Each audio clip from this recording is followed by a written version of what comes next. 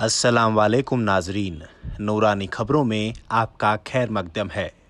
नाजरीन, corona virus के मामले जिस प्रकार से बढ़ रहे हैं, उसी के साथ साथ इसको लेकर राजनीति भी शुरू हो गई है।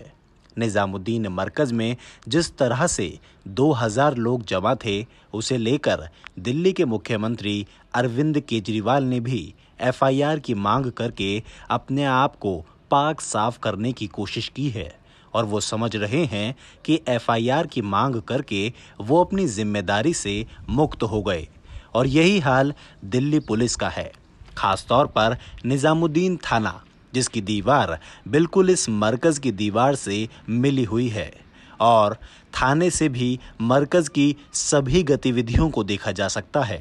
ये दिल्ली पुलिस हज़ार जवानों को लेकर कर्फ्यू में शाहीन बाग को खाली करा सकती है तो क्या मरकज से 2000 लोगों को नहीं निकाल सकती थी? जबकि मरकज के लोगों का कहना है कि हमने 25 तारीख को ही पुलिस को लेटर दे दिया था।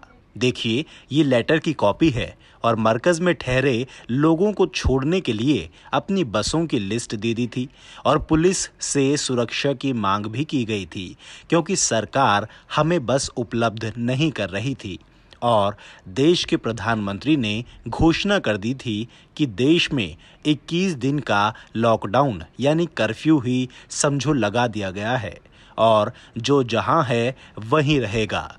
तो ऐसी स्थिति में हम क्या करते? बाहर पुलिस निकलने वालों पर लाठियाँ मार रही थी। सुनिए जमात में आए लोगों का क्या कहना है? आज जो निजामुद्दीन मरकज के अंदर जो बातें चल रही है मीडिया बता रही है इसके बारे में आपका क्या कहना है? आजकल जो मीडिया में बात हज़रत निजामुद्दीन के बारे में है ये बात मीडिया ने बहुत सारी बातें गलत फैला रखी है। पहले तो ये जानना चाहिए कि निजामुद्दीन है क्या चीज़।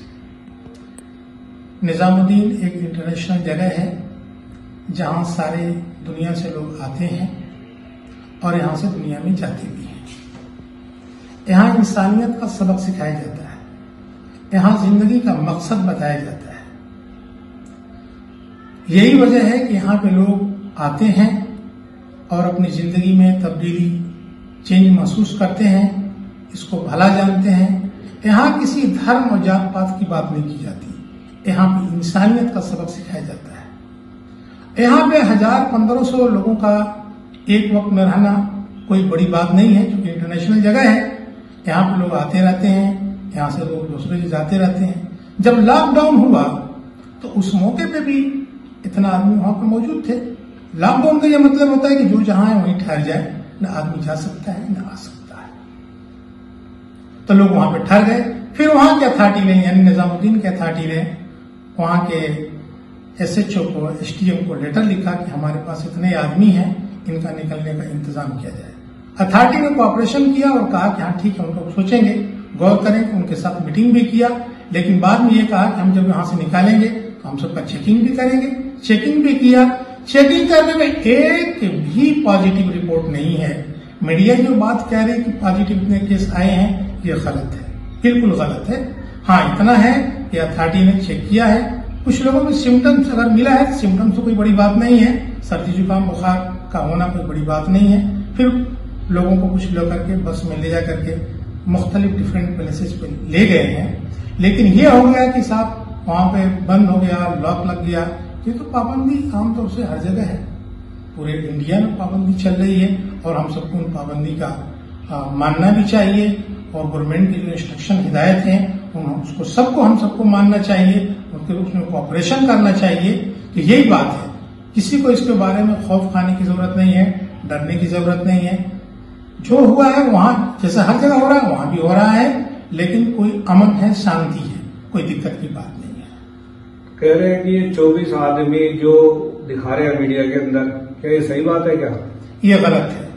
मेरा गलत है सबको मालूम है कि मीडिया जो है इशारे पे काम करती है हिदायत किसी के इशारे किसी के हिदायत पे काम करती है। हकीकत से कोई उनका ताल्लुक नहीं है। बहुत बहुत शुक्रिया आपका। जहाँ मरकज के लोगों की ज़िम्मेदारी बनती है वहीं दिल्ली सरकार की भी बनती है और केंद्र सरकार की भी। अपनी ज़िम्मेदारी से कोई नहीं बच सकता क्योंकि दिल्ली पुलिस केंद्र के अधीन है। हम आप सभी से गुजारिश करते हैं कि ये बहस का समय नहीं है, बल्कि एक साथ आकर इस खतरनाक बीमारी से लड़ने का समय है। ना कि हर मामले को हिंदू वर्सेस मुस्लिम बनाने की कोशिश करने का। नाजरीन, हम अल्लाह ताला से दुआ करते हैं कि अल्लाह ताला इस बीमारी से पूरी दुनिया की हिफाजत फरमाए। आमीन। नाजरीन, अगर आपको हमारा ये वीडियो पसंद आया है तो इसे लाइक कर दें और अपने जानने, मिलने वालों को शेयर करना बिल्कुल न भूलें। आप अपने सुझाव व शिकायतें हमें कमेंट बॉक्स में ज़रूर दे दें। अल्लाह हाफिज़।